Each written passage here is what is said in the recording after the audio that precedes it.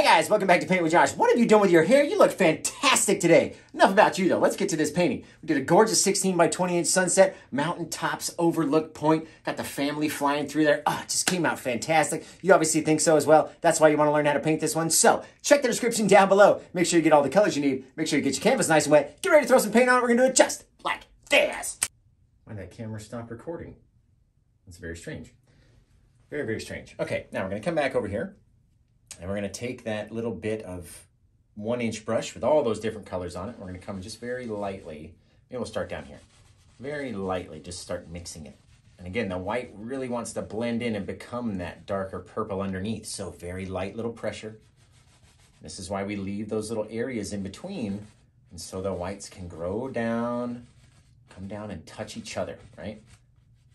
Leaving those little areas of dark in between. Those are your little shadowy details. If you lose all those shadowy details, you have no depth left in your cloud. It's just a big old one colored mess, right? And there's no depth left.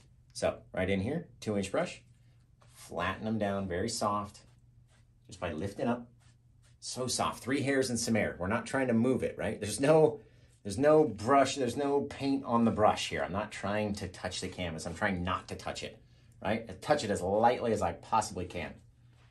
Very soft, very soft. Get a very cool little sky, just like that. All right, now we're talking about mountains. Let's come in and make a mountain. So if this is your first time watching a Paint with Josh video, make sure you comment, tell me where you're watching from, and what's your favorite sandwich. We love knowing where people are tuning in from all over the world. We've got fans everywhere. So tell us what time it is or where you're watching from right now, whether it be Israel or Australia or Austria, or the UK or Philadelphia. You guys ready for the Super Bowl? My goodness. So, who's watching? Tell me where you are and what's your favorite sandwich. We always love to know. And we get the coolest comments. So, let's come in here. Let's take our, our purpley mixture that we just made, scrape up a little bit of it onto our little small knife. I'm using a small knife in this one. And who knows, maybe back in here, just start dropping a little bit of a roll of paint up into there. Just like that. It's so simple. Let it fall off the knife just as you're mushing it on, right? We're putting a lot of pressure on it right now. And that way it, it smushes the paint out and creates that little line along the top. Because that's all we're really worried about. Everything else underneath, this doesn't matter. Nothing underneath matters. You can always cover it. You can mush it out. You can do all sorts of stuff, right? Get it all over the canvas like that. And this is how we shape the mountains, right? So maybe this little side, you can imagine we'd come down here. Maybe we had a little bit off to the back and you can just start to piece it out in your mind, right? Maybe there was a little valley in here. Okay, if there's a little valley, there must be another little peak right there, right? And you just build it. How does your mountain look? Maybe it comes up like that, and then we got a whole nother little bit down in there. There's our little valley. Maybe there's a valley in between. We got a double valley, right? Come down over here. It just keeps growing. Maybe we fall off to this side right? And it doesn't have to be the most perfect straight line thing. I never want them to be straight. That's no fun, right? And again, mushing it hard, getting that paint to come off of the knife. I don't want it out on the knife forever. I want it on my canvas so we can use it, right? Now we're gonna come over here, same two inch brush, uh, one inch brush, haven't washed it at all. We're gonna come back like this. I'm a lazy old painter. I don't like to wash the brush. Just like that, start to shape what our mountain looks like. The more pressure you have, the more you're going to create little details, right? Watch over here. We pull in this other direction, and all of a sudden we can start to shape our little valley back there. We can work this guy back into it, right? What does yours look like? I always ask. It's not about what my painting looks like. It's about what your painting looks like. I'm teaching you a cool little way to do it, right? But yours is going to be different, of course. Never going to be the same. So all depends on your brush strokes, your pulls, your direction, where you're taking your painting. And that's the most fun about it, right? It's always going to be a little bit different than everyone else's. And I love that about painting. It's so awesome. Again, just kind of, oh, now look at that. All of a sudden, our little bit of mountains might connect down here. And you never know. You just never know. So play around, have fun with them, right? Don't make your mountain the same dang shape all the time. I got a message from a guy today Oh, can you approve my post? Bro, please. This guy paints the same mountains all the time. Never a difference. They look exactly the same. And I hope he sees this. So, Maybe he might change and put a little difference in his mountain, look a little bit better. I might have to cut this whole section out of the video, but it's okay. It's okay. If I forget, leave it in. He knows I'm talking about him. He's lucky I'm talking about him. I won't even mention him by name because then people will know who the heck I'm talking about. And that would just give him more, you know, viewership, which I don't want. So sometimes Josh can be petty. Sometimes Josh can be very petty. And sometimes I can be the nicest person ever. So depends on uh, level of uh, disrespect you come at me with. I match energy. I love that that uh, that saying. I match energy. All right, you decide what your mountain's going to look like, right? So where what colors are you going to use? What where's your highlights going to be? Where are your shadows going to be, right? And in this instance, we have our sun in a precarious place with all these peaks, right? You would imagine that all these peaks might be in the shadow of the sun because they're behind it when in re- reality it would hit in a lot of these places. So in mine, I don't care what you do with your shadows, but in mine, I would imagine some shadow down here, right? Off the back of the mountain, maybe off the back of this ridge, and everything else is gonna be in the light. So again, you do what you wanna do, I'm gonna do what I wanna do, and we'll see whose looks better, right? Let's go like this. Grab up a little bit. Now this white had uh, a little bit of the crimson in it to turn it a little pinky, right? When we were doing our clouds and it all mixed in with all this stuff. So it's not the most pure white. It's a little pink, little pinky white, right? And that way we can save our most pure whites for when we get down close to us, right? Now we're gonna need to make up a little shadow. So let's take a couple little bits of blue, just touching it. You don't want a whole lot. Just like that, look at this. You don't want a whole lot of paint on the knife, right? Maybe take a little bit of that white over there and we'll come over here and make our little shadowy blue. And the more blue you have on the knife, the real, I mean, the darker it's gonna be for real. There we go. Nice little sky blue color. Take some of that purple and mix that in as well. That way you kind of dulls it down. You get this soft little bluey gray shadow. It's fantastic. All right, let's come in here. Now we can't have just light everywhere, so let's put a little shadowy blue back in there, maybe off the back of this peak. All right, but you gotta have it be blue enough that it stands out away from the white. And that way you get that shadowy look, right? Maybe off the back side of the peak, we had a little bit of our bluish shadow down here. Different places. Doesn't have to all be the same, that's for sure. Never want it to all be 100% the same because then it's not going to look real. Right? I like it to be different. And we always say differences in color, right? You ever hear me talk about that? That's what we're talking about. Let's take a little bit of this, put the blue over here, just a little touch, let it drag. Look, we're hovering the knife. We're hovering it. We're not, I'm not pushing real hard. I'm not scraping at it. I'm literally trying to let it float above the canvas and whatever little bit of roll that I have scraped up right here, if it's only a millimeter thick, that's how much you need to be hovering, right? And you just let it fall right off the knife, just like that. Comes off easily. Don't want to force it, that's for sure. We're going to come back in here, grab up a little bit of the white. Don't want to have too much, especially when you go to the very tip top of your mountains. Come up here like this. Start to slide it down floating the knife across the canvas, right? We're floating it. I'm not touching the knife onto the canvas. It's not, the blade is not making contact with the canvas. It's just a little roll of paint that's getting grabbed by any little bit of canvas it can. Just like that, pulling it down. Oh, so gorgeous. Look at this, guys. Look at this. It's gorgeous. Pulling it down. Oh, man, that is neat. All right, remember we had our little valley back there? So we have to turn it up, right? You have to shape it. You gotta turn, you gotta rotate your knife, you gotta rotate your wrist. It's not all the same, right? Maybe underneath there, now that we have that there, that looks really cool. Maybe there was a little bit of shadowy blue right underneath there. Now you don't wanna make it too dark blue. You have to kind of match that same color because our dark blue shadows that we're gonna save for the front, right? So maybe like down in here, there was a little drop off and then all of a sudden it hit. And you got a very cool little thing happening right here, guys. We're gonna come back to that white, come up to the top, just jiggle along the edge, just like that, look. Jiggle it, let it roll, let it come off. We're not touching the canvas. Remember, we're floating along the top. Coming down like that. Come down in here into our little valley, let them meet up.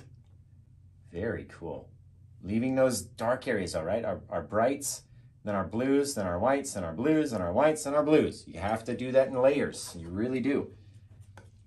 I'm gonna come down here. I'm gonna change the angle of the knife. So now we're more on a sloping coming down. Ooh, hoo, hoo, hoo, that looks cool, guys. That looks cool.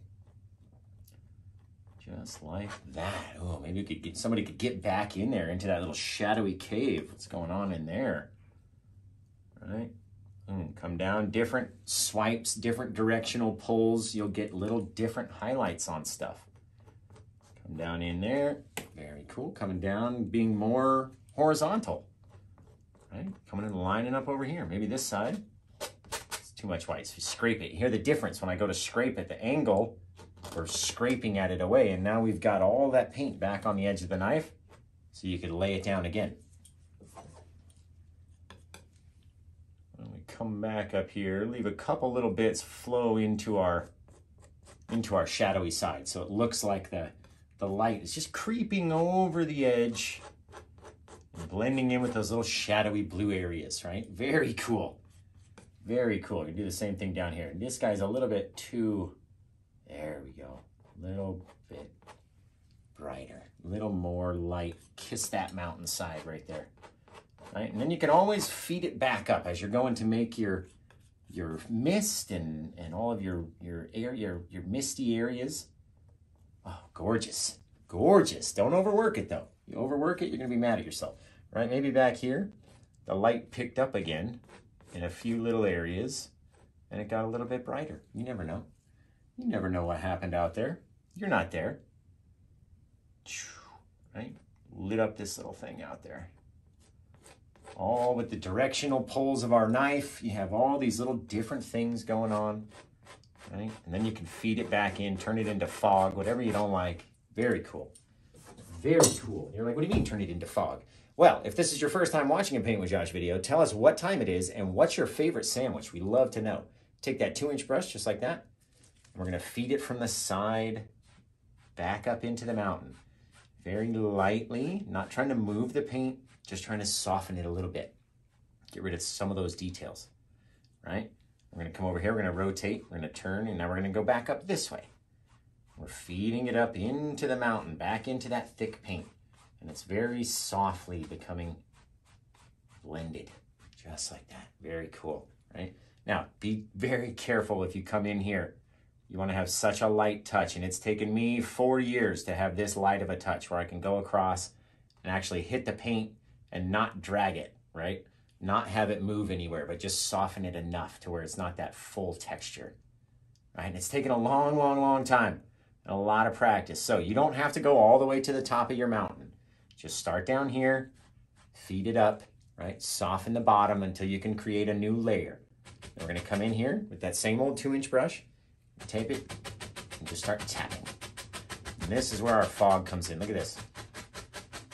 Right? You're grabbing it, pulling it down, grabbing it, pulling it down in those same angles. And what we're doing is creating new land that's underneath a, a little layer of mist, right?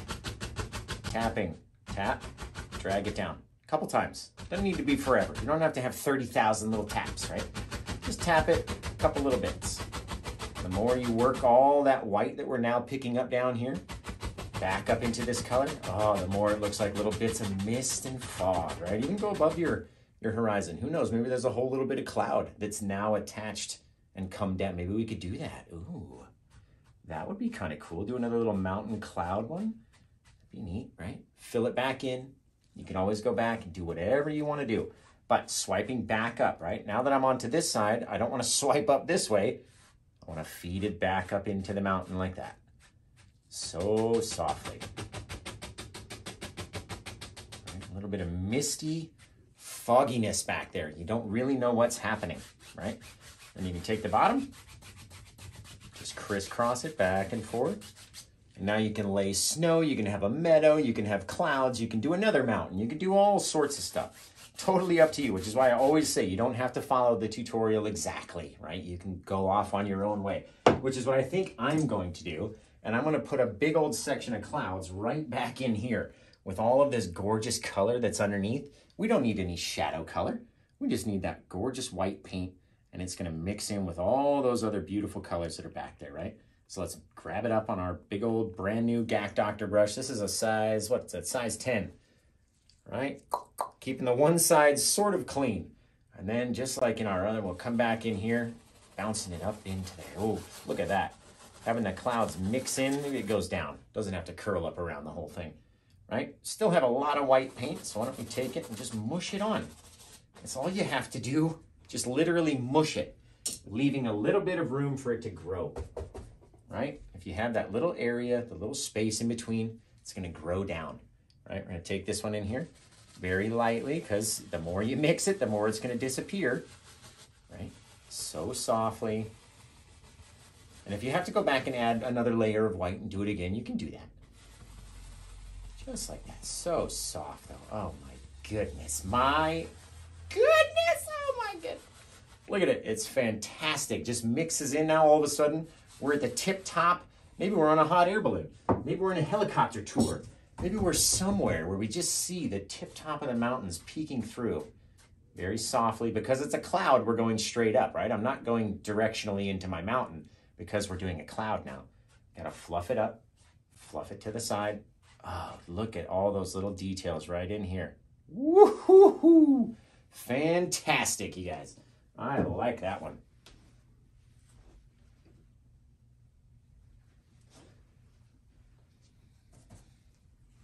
All right, we'll save room. Maybe there's like a tip top of a tree over here. So let's do one more little bit of cloud, but let's make it a dark cloud, right? Not every cloud has to be bright and have a really bright center. And even this one you could throw underneath. You could add a little bit of that darkness as our shadow, right? Our same mountain mixture, and then we'll work it upwards into that cloud, right? You pull it down, you can pull it up, you can pull it underneath, you can drag it here, you can go there, and then just mix and mix and mix and mix and mix and mix and mix until you like the way that it looks, right? Maybe you want it a little bit brighter or a little bit darker. Maybe the sun was hitting on just the top of the cloud and not the shadowy underside, right? Oh, however you want it to look. Again, softly taking it up from the top, or from the bottom to the top. My, my dyslexia says from the top to the bottom, then people get mad at me in the comments. From the bottom to the top, just like that. Now, why don't we come back in, just because I want a little bit more depth. We'll get a little bit more white right over the tip top of this shadow again, right? Leaving some of that shadow, bouncing it down. Differences, differences, differences, differences. Look, maybe this guy grew up over here now. Just because I was mushing it on that way, right? Very lightly again, clean, dry brush, and that way you don't overdo it, over mix all the colors together. Start on this side over here. And just so, so, so lightly, again, because you don't want it to turn into the color that's underneath. That white will eventually disappear and become whatever color it is underneath there. So the more you mix, the more that will happen, right? And again, here we have white, a little bit of dark, a little bit of light, a little bit of dark, a little bit of light, a little bit of dark, right? Still layers. You don't want those whites to, to get too close. You don't want it to touch. You don't want them to connect, that's for sure. And be sure, guys, start writing your name. Uh, if you were going to name this painting, what would you name this painting? Write it in the comments, whatever platform you're watching on right now. And in a few minutes, I'm going to choose a name from the comments section, and we're going to name this painting. It's going to be fantastic. So, comment your names right now, and uh, we're just about done with this old guy. We're going to fluff it up from the bottom to the top, top to the bottom, however you want to say it. We get this gorgeous floating tip top of a mountain. Oh, it's fantastic. Whoop, drop my brush. It's so fantastic, I ended up dropping the brush. My goodness. Here we had, like I was talking about, we had a, uh, we had an old tree out here. It just lived out in the, in the tip tops. Gets to look at this mountain all day. I'm actually really jealous of this tree. It must be a fantastic place to live, right? We're gonna come over here, grab it up onto the brush like that, and maybe, I don't know, I don't wanna go too high. Let's see, maybe there's just a couple right around the bottom, right? Like that. Let's do a couple little saggy ones. So we'll go downward facing. Just start tapping, and then we start getting bigger and bigger and rotating the brush, tapping it down. Right, these are the very tip tops of the trees, way off. Real close to us, and we get this far off mountain out in the distance, right? And that guy's over here, a little bit taller. And then this guy's gonna be a little upward facing guy. So we rotate the brush the other way, and now we're slapping up into the canvas. Just like that. You see how the difference in trees there? One looks like it's old and saggy, like it's had too much water or too much snow on it, and this other one's nice and tall and and just just ready for life, just ready to grow another hundred years. Isn't that gorgeous? Put one down here. Maybe dead, almost dead center. Just like that. Again, tapping up, smallest little things at the tip tops of these trees, and then you got to get bigger as you go down. Of course, right? And not every tree has to look exactly the same. It doesn't, the your little branch patterns and this, that, and the other, they don't all have to be the same as this guy or that guy or any guy. They really don't. Let's come back in here. I love these little trees. Don't want to do too many. We got to do maybe one or two more. Let's go over here. Nice little big one. Come down like that. Little upward facer. Smack it into the canvas. And then we start going back and forward as we're tapping. Back and forward. Tap up and push in harder. Tap up and push in harder. Tap up and push in harder. Right, as you're going back and forth, you make that gorgeous little tree, just like that. Very cool. Very, very cool. Don't we do one more little guy? Don't want to cover up too much, so we'll do one more little guy. Man, what I wouldn't give to be on a hot air balloon looking at this site right here. Let me tell you. Do a little guy down here. Nothing too crazy. Tapping up. Again, smacking it again. So now we're going backwards and forwards, pushing a little bit harder. And that is how you make a tree. Very cool. I like that. I like that little guy. Very tip tops. Okay, now let's highlight these trees with a little bit of snowy goodness. So we're going to take, and we need to have two colors of snow while I wash these brushes off.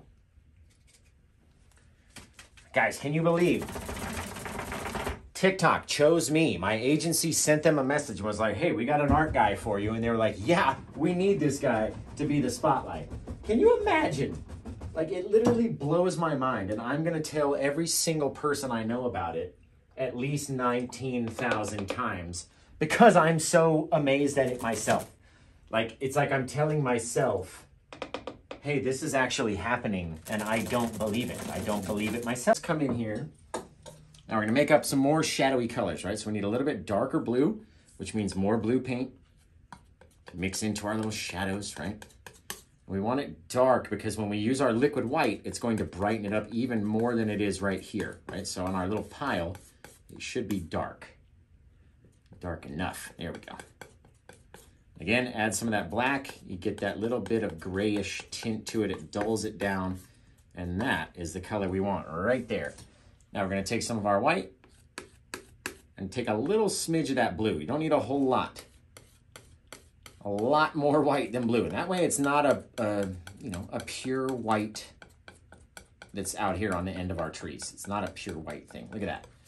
But against this other color, it's going to sure look white when we go put it out there. So mix it up. Very, very, very light, light, light, light, light grayish color. Almost white. That's how I like mine anyway. All right, and we'll come back over here. Grab up a little fan brush. I like to change it up and go to a smaller fan brush. And when you go to a much smaller fan brush than the fan brush that you actually created the shape with, you make a lot cooler of our little highlights. So, when we come in here, we're gonna come over to our blue side, we're gonna drop some of that liquid white, that very first paint that we initially covered our canvas with. And we're gonna start to mix this guy up. right? and that white and blue, really gonna wanna take over each other. So, just like that. Mix it in, and you get this very soft little bit of blue back here. And now we're gonna come on to the opposite side that you think our light would be on, which would be our shadowy side. We're gonna start to tap in a couple little details. That's all we really need. Don't need to cover all of the darkness. Not gonna see everything, right? Now we're gonna flip our brush over and we're gonna come on to the back side of this guy, right? And just start tapping up very lightly. Again, not trying to cover everything, because if you cover up all the little dark branches, then you have nowhere for your snow to sit. Your snow is just sitting on top of snow, and that looks weird, right? So go back, wipe the knife off, because now that you've gone over two trees, your, your, your brush, not the knife, your brush has changed color, and it's picked up a little bit of that darker color, and that's gonna just dull your highlights. So wipe it off or clean it, Go back. Come on to the back side of this guy. Little taps up. Little things. Slap, slap, slap, slap, slap, right? Just on the one side. It's the shadowy side. Actually, this guy, let me put it a little bit over here too. And just do that little bit of highlight. And That way it's not a, just a straight halfway line down, right? Come back over here, pop in a few little bits on this smaller guy. Nothing too crazy. Don't want to add a whole lot of detail. These are just the shadows, remember? It's just the shadows. Now maybe the shadowy side's on this side because the sunlight is over there, right? Smacking at it, a couple little things. Little bits of blue, little bits of something over there, right? That's all we really need. Now, wash the brush off or wipe it off. I tend to wash it when I switch colors. If I'm using the same color, we just wipe it off. But if I'm going to switch colors, then I want to wash it. That way it's nice and clean. And I can come back to our liquid white, which is a very runny white. Look, it wants to fall off. It's like so runny in comparison to the other white that we have. All right, so we're going to get that guy up, mix it in. Now this, this liquid white, all it's doing is thinning this thick paint down so it'll stick a little bit easier. right? so we get our white. Come on to this side. We're to touch the, the center of the branch or the center of the trunk. And then just start tapping out little things. Right? Doesn't have to be the whole tree, doesn't have to be covered. You don't want to cover every single little bit, right? Maybe we can get away with doing it on this side. Nope, we're gonna have to rotate over. First, we gotta get that tip top, bang, just like that, like it got a little bit of frost on him. Right? Little smacks, slapping at the canvas, the right kind of an angle. Right, little things, little things, and we start to, they're like little cups that hold the snow, right? They caught the snow back there. Go back to our liquid white, come back in here, remember, Start hitting me with your names. What would you name this painting? Overlook Point? You know, Make Out Point? I, I don't know. What would you guys name this painting? Write it in the comments below. And I'm going to go through the comments of whatever platform you're watching on. I'm going to go through the comments and I'm going to choose a name. So, hit me with the names that you want to name this painting right now. And we're going to choose in just a second, right? Got to sign it and then we'll be done. Slapping at the canvas, little things. They don't all have to be covered, right? doesn't all have to be the same thing. How many times have I said that today? It does not have to look the same. It doesn't have to be the same color. It doesn't have to be the same shape. It doesn't have to be the same size. It doesn't have to be the same brightness. It doesn't have to be anything. It really doesn't. You don't, there are no rules. It does not have to be anything, okay? Just like that. As long as you got your brush at the right angle and the paint is in the right place on there and you got the right amount and the right amount of pressure, your tree is going to be gorgeous, let me tell you. Man, that's cool. Well, guys, I can't wait to see your version of this painting. Make sure you send it into facebook.com slash paintwithjosh. And until I see you guys again next time, take care, have the rest of a good day, and ba-bow! Hi, welcome back to Paint with Josh. Today we did a gorgeous 16 by 20 inch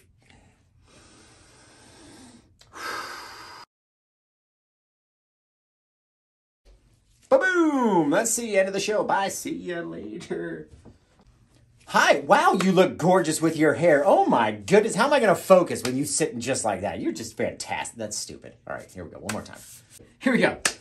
Hey guys, welcome back to Paint with Josh. You look fantastic. What have you done with your hair? Oh, it's fantastic. I love it. Why do I say fantastic so much? I say it too many times. All right, one more time. It's getting late. Hi. oh, all the pressure with people watching live. This is why we screw up. It's okay. Hi, welcome back to Paint with Josh. Hi! Hey ladies, what's happening? Thanks for watching Paint with Josh. I don't know why I go to my radio voice. It's like my go-to voice. Here we go. Oh my goodness, it turned out fantastic. You obviously think so as well. That's why you clicked on this painting. You want to... Look Hey guys, welcome back to... Hey guys! Whoa, guy. Did you know for my TikTok Spotlight Creator thing, it took me an hour, more than an hour, to make a, a 29 second video that I was happy with? More than an hour. I just want you to know that. Hi, welcome back to Paint with Josh. Man, you look good. What have you done with your hair? Just forget. Oh, fucking, that's so dumb. Why do I even do that? Hard, right? Like, oh, hi, you again? Welcome. Oh, man, you look. Why do I do? I try to like boost the the viewer's ego. Like, oh, you look great today. What have you done? Something different about you. Oh my goodness. Looks fantastic, right? Okay, here we go. Let's get to it. We have a 16 by 20 inch gorgeous sunset. Uh, turned out fantastic. You obviously think so as well. That's why you want to click on it. That's why you clicked on it. And you want to learn how to paint the painting. Ah, God, why does it just get so good? Then it gets so bad. It just goes from here to there immediately. Here we go.